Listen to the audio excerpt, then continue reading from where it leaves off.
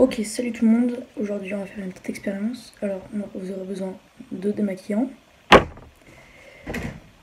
et d'un torchon. Alors,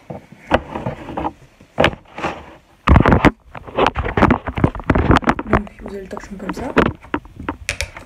Vous prenez le démaquillant, vous en versez un peu dessus comme ça. Voilà.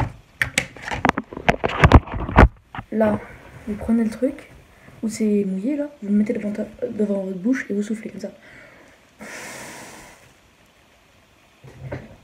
Merde. Et ça vous fait de la mousse. Écoutez.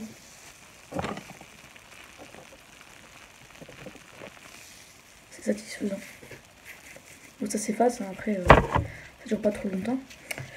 Donc c'est facile à faire.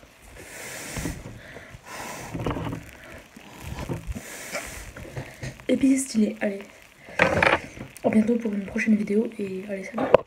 Abonnez-vous.